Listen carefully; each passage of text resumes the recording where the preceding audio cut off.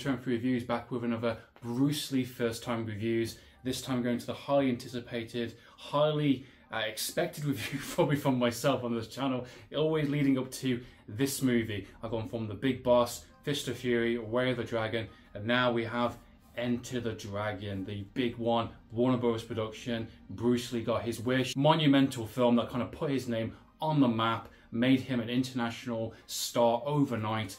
Bruce Lee was on fire. Did this one deliver the goods? Was it overhyped? Let's find out. Let's check out and discuss Enter the Dragon.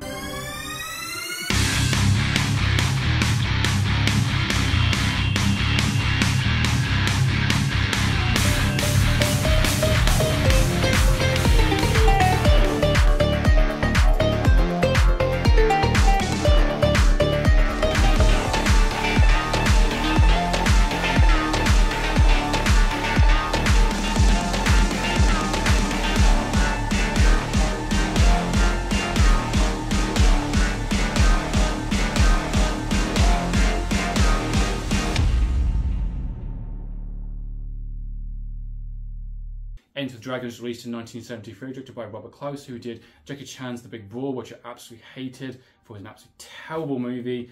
Um, however, I've not seen any of his other films uh, during his kind of, you know, filmography. Uh, from what I've seen, he did a lot of action-based kind of movies, a lot of Japanese kind of martial arts, kind of um, Asian-inspired kind of Western interpretations of these types of films. Uh, Cynthia Rothrock's in one of the, one of the films he's done as well. So obviously, established director, someone who can get the job done, who can make a bit of money, and who obviously he was respectful enough to kind of take on this big kind of monumental film that is from Warner Brothers Pictures. You know, John Saxon, you've got an all-star cast. However, despite the quality of the films, the box office spoke louder than words, and Warner Brothers heard the call and they came knocking. And they made probably one of the most influential movies of all time. Uh, despite your thoughts and opinions on the quality of the film, whether you think the film holds up or not, whether the um, expectation and the hype and whether the film delivers or whether it underperforms for you, is all down to personal taste. However, we can't deny the film itself is very much a monumental film. It's a groundbreaking film in terms of a Asian star not necessarily being the lead, but also having a lot of influence over the film, obviously demonstrating his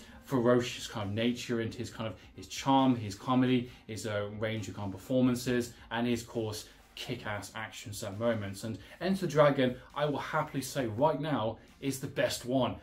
No surprise probably there for a lot of people, but I was really, really worried going into this because obviously with the amount of hype and the amount of expectation going into it, it's very, very difficult to say what kind of film you're going to get. And I'm really happy to say that the film does actually deliver. It's definitely my favourite out of Bruce Lee's movies so far, and I think it delivers uh, a pretty solid film. Not an amazing film by any means, not I think kind of mind blowing. It's not going to be a film that you're going to be uh, you know necessarily talking about over and over and over again. Uh, but obviously, I'm in the minority of that because this film is obviously monumental. It's getting God knows how many releases, 40th anniversary, 50th anniversary. It's getting a brand new 4K. So obviously, I'm in the kind of outside perspective. I'm going to give you my honest opinion, and I think Enter the Dragon definitely delivers what it says it to do. It delivers an all-star cast delivers a, a, pretty great premise until the kind of the premise kind of goes away a little bit and it becomes a bit of a almost of a gimmicky type of film. I think the initial idea I think is absolutely great. It's basically a Mortal Kombat type of scenario. You've got all the best kind of uh, martial art fighters, different background styles uh, from different parts of the, of the world, and they've all been invited to go onto this island, this very secured island.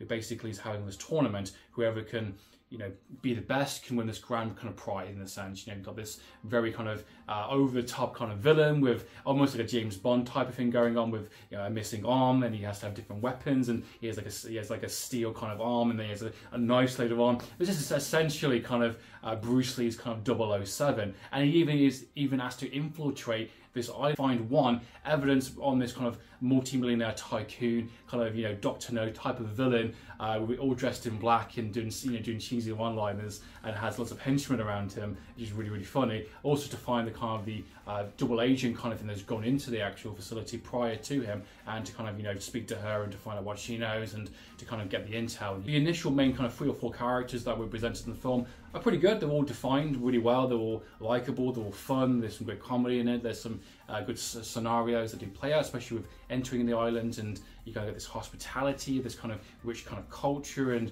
they can pick any women they want, and there's some really cool kind of lines and some great fights. Uh, which I do appreciate. You get a really early kind of Sammo Hung uh, fight as well during the start of the film, which is great. Uh, you get a very early Jackie Chan performance as well with one of the henchmen, which is also great. Plenty of motivation, there's plenty of character uh, to kind of develop to work from, and uh, I love his suits, I love his kind of his, his back and forth kind of uh, chemistry with all the other cast members. There's some great moments, especially on the boat when he kind of tricks the kind of uh, the kind of the bully kind of you know martial artist on a boat, and that's really funny. So there's definitely a good sense of kind of like you know uh, I'm not taking shit from anyone kind of thing, and that's great. That's what we like about Bruce. One of the things I mentioned in my last review about The Way of the Dragon is that this kind of Chekhov's gun kind of theory mentioned about the idea of introducing guns but not being able to use them for whatever reason, but you have to use them is part of a kind of a writing terminology. And if you're introducing that kind of idea, you have to pay it off. That's something that the last film struggled with quite a lot. This film does it in the best way possible, in the sense of the idea of the island is secured off and you have no guns allowed. So basically, when you enter the island, you're not allowed to bring any weapons, you're not to bring any kind of knives. It's very much all about the martial arts, all about the fighting, which I think is a really clever because the idea that the bad guy has had a bad experience with guns. He basically, I think he lost his hand from a gun injury in the sense. So the idea is that the international waters, the island he owns, don't prohibit any guns which I think is great because there's no guns in the film. I don't think until the last little bit, maybe if I'm mistaken, um, but that's a very clever way of basically saying, yeah, we're set in the 70s, uh, and we know that if a gun's introduced, Bruce can get killed off, any character can get killed off. What's the point of having a martial arts tournament if you're going to get killed off very, very quickly, very easily? So they work away around that, very clever. As far as a movie goes, I definitely think it's the best Bruce Lee. I think that goes without saying. I think it definitely delivers uh, what I wanted to kind of to, to, kind of achieve and to kind of you know present on screen. While I don't think it's a, a, a fantastic movie, I definitely feel like obviously for myself coming into it like, so late into the game, watching so many other movies within that kind of you know genre, within the kind of so many of the bigger stars that I do personally get connected with a lot more. I definitely think he delivers the best one out of the lot we've seen up to this point, and I'm, I'm very very happy for that because Enter Dragon is the big one. It's the one that everyone talks about. It's the one that has the most influence over everything, and it's still referenced today. It's still kind of got a lot of kind of uh, winks and nods to kind of various other kind of you know Western kind of audiences and Asian audiences alike, and they still use him as mentioned within like Ip Man 4, Green Town. That's been my thoughts and opinions on Enter the Dragon, guys. What are your thoughts, guys? Please comment down below. Do you prefer the theatrical? Do you prefer the special edition? Are you excited for the brand new 4K edition coming out soon? Next up, we have is Game of Death, the last official uh, Bruce Lee movie that isn't fully his film. It's kind of like a half and half. So, meantime, guys, down for the reviews. Signing out.